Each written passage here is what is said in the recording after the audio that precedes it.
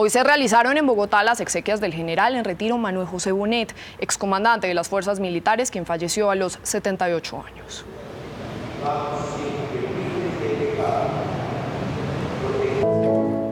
Las honras fúnebres se efectuaron en la capilla de la Escuela Militar de Cadetes a la que asistieron los familiares del oficial y la cúpula militar. Bonet fue también comandante del ejército y director de la Escuela Superior de Guerra.